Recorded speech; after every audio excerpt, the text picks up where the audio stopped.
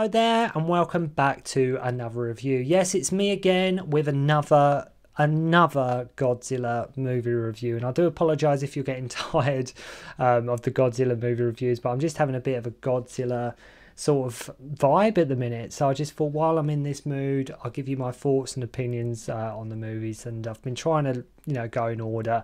Still some way to go, as I mentioned, but we're we're slowly getting there. Today we're going to be looking at Destroy All Monsters, made back in 1968 and directed by Ishiro Honda. Ninth film in the franchise, and this one, Destroy All Monsters, it's quite a special one, um, especially in terms of the early days of Godzilla, as we get a wide range and assortment of monsters here, from Mothra, Rodan, King Ghidorah, Godzilla, Anguirus, and some monsters making their Godzilla debut in Manda, Gorosaurus and Baragon, etc. So you're definitely getting the bang for your buck in terms of what monsters you get in this movie. You're definitely getting a what big right wide range of assortment of uh, monsters here. Um, you're definitely getting bang for your buck. Um, though initially I think a lot of reviews for this movie, I think they were mixed, uh, and I think that's putting it very, very politely. I think a lot of the reviews were very mixed leaning towards more negative. Uh, I think the idea with this movie and its original early concept was to just include all the monsters that have been featured in the Toho movie up to this point, and bringing all like in all the monsters in their like in their in their arsenal together on the screen in a feature movie. So we have like a Monster Island in this film, and I think as a filmmaker, Honda, the director, was actually fascinated with this concept and like the idea of like how humans would keep them, feed them, look after them, like sort of if like humans were in charge of looking after these mon- uh, monsters. I think Honda was pretty for quite interested in that idea and that as sort of a plot device, um, sort of them all being on Monster Island. Uh, like I say how humans would keep them, feed them, and like to say that idea of marine biology and underwater farming. In many ways, sort of what would later go on to be sort of, you know, the Jurassic Park uh, type of movies with these monsters kept by humans on a faraway island. He wanted to show, I think he initially wanted to show as well, like lunar, col- like some more of the lunar colonies and a new hybrid monsters being the results of sort of genetic splicing and things of that nature, but obviously budget constraints and certain limitations.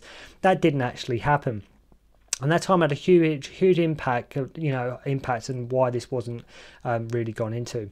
A lot of people like this one though because of the simple story the monsters involved the soundtrack and of course the destruction that you know make no mistake there is there is a lot to be enjoyed here. There really is um, I think in the very early stages too, this was even going to be the last film in the franchise, with the idea being let's get all the monsters in, let's go out on a high, let's make it as fun as possible, get Honda back and have one big last hurrah and crack of the whip, so to speak.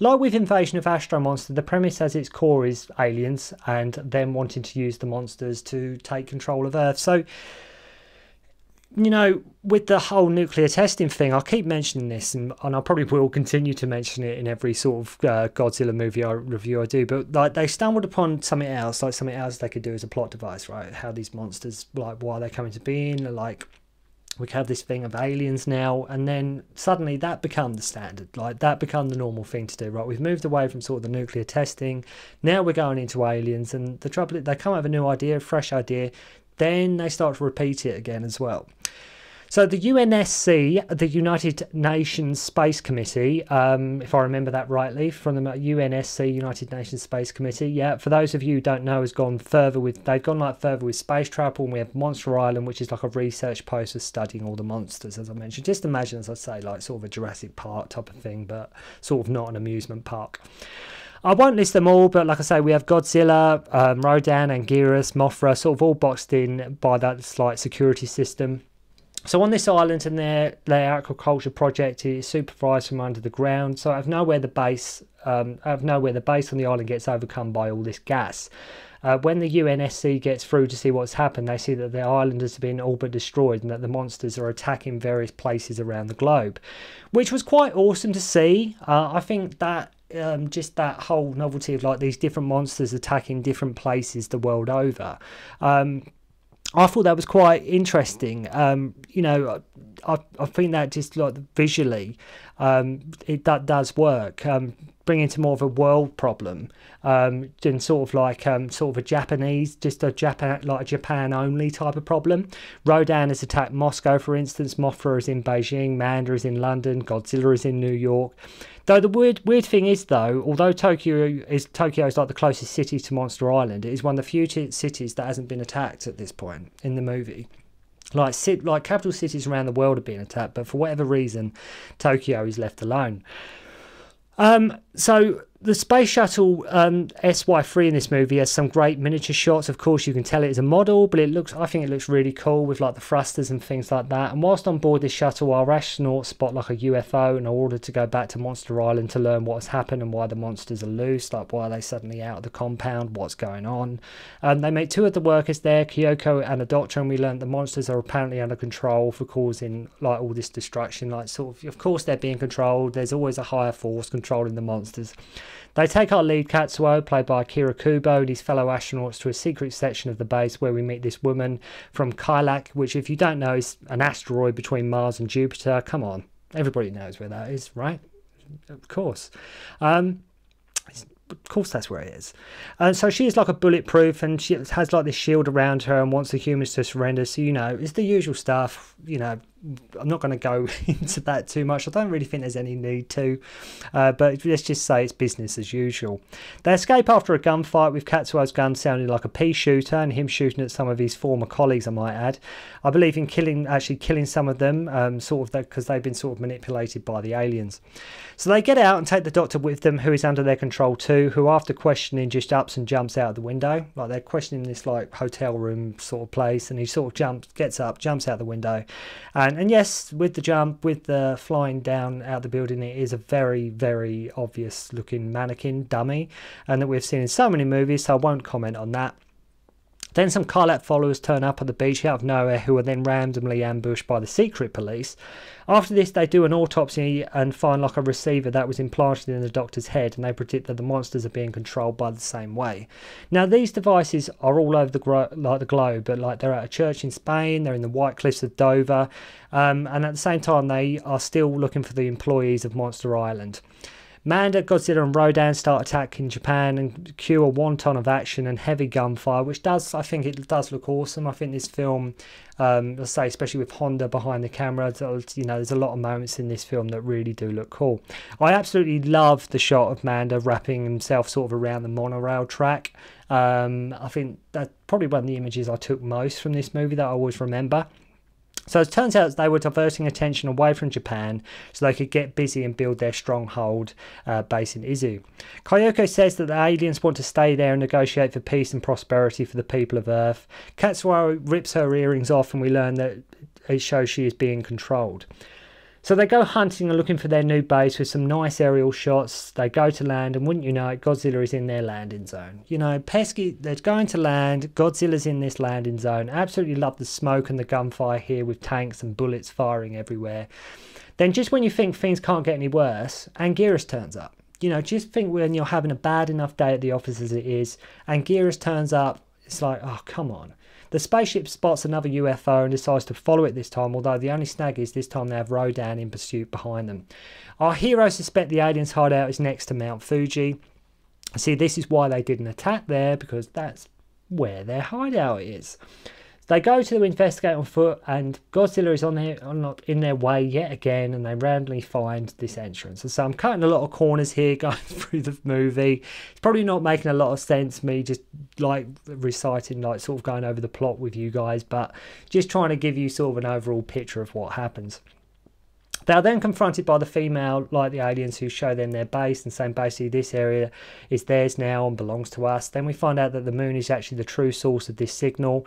So they go there and this space shuttle, they like with the um, the other movie, that they do treat this it's like a it's like a taxi ride when they go like when they go went to Planet X and like back, and it's the same thing here.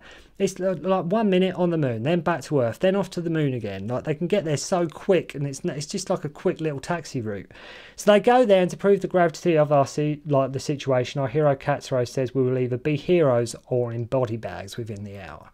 So such is the you know, severity of what's going on here. He's like, well, you know, we, we either succeed or we're going to be in body bags.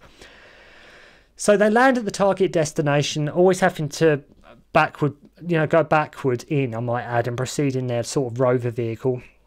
The thing is, this movie is about, you know, when I talk about B movies, and especially, like I say, the early Godzilla movies are by and large, like you could cl- classify them as B movies, but this one in particular, Destroy All Monsters, is about as B movie as you can get.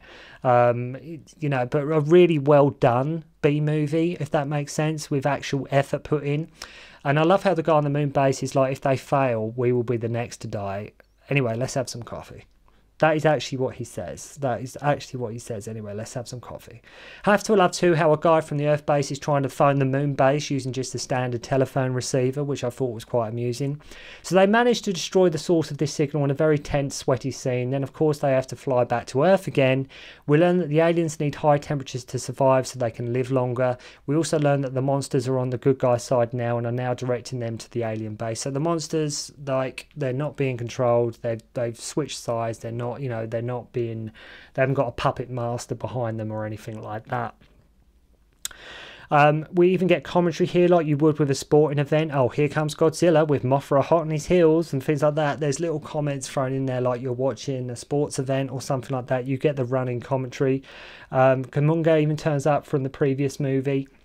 But then pesky aliens have to go better, don't they? The pesky aliens have to go one better. They summon Ghidorah. Like Ghidorah turns up, they've summoned Ghidorah. What is cool is Anguirus does quite well as he gets an attack in on Ghidorah. The only snag is that he takes off with him biting him, only to fall straight to the ground and causing a major ground shake. So he sort of bites him, flies off, and then he sort of falls to the ground. The ground completely crumbles. So basically, Godzilla ends up stomping the crap out of one of Ghidorah's heads.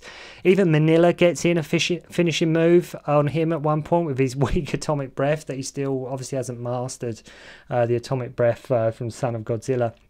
Lots of monsters, lots of monsters here. Not sure why like Manda doesn't show up, but you know, obviously they couldn't uh, maybe get all of them involved, but even still.